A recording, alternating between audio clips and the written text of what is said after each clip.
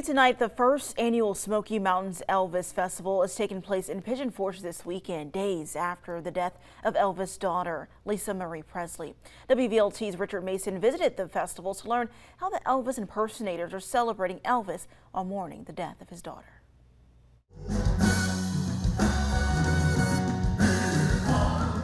We have one big, huge Elvis family here this whole weekend. The first annual Smoky Mountain Elvis Festival is allowing guests to experience six different Elvis shows over three days at the Biblical Times Dinner Theater in Pigeon Forge. More than 20 different Elvises will take the stage performing, with the winner going to Graceland in August for the Ultimate Elvis Tribute Artist Contest. Ryan Pelton performs as Elvis during his time in the U.S. military. At the end of the day, you're, try you're trying to do your best to uphold a legacy of, you know, Elvis Presley, which really no one's going to match that.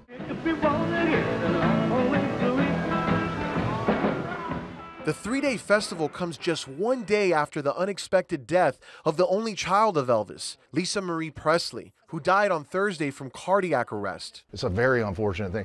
I turned 50 on January 12th, which is the day she passed away, so I'll always remember my 50th birthday as being the day that Lisa Marie passed away. Tim E. Hendry, the producer of the festival, says the death of Lisa Marie Presley will have an impact on the festival. We are dedicating this festival to the memory and music of Elvis Presley, but also to the legacy and music and the memory of his daughter, Lisa Marie Presley. Despite many of the producers and performers of the festival mourning her passing, they say they will do their best to put on a great show. There's so many positives in the life, music, and career of Elvis Presley, and that's what we focus on. In Pigeon Forge, Richard Mason, WVLT News. Now, the festival also making a difference, supporting St. Jude's Children's Hospital. It all ends tomorrow at 7 p.m. You can learn more about this event inside the WVLT News app.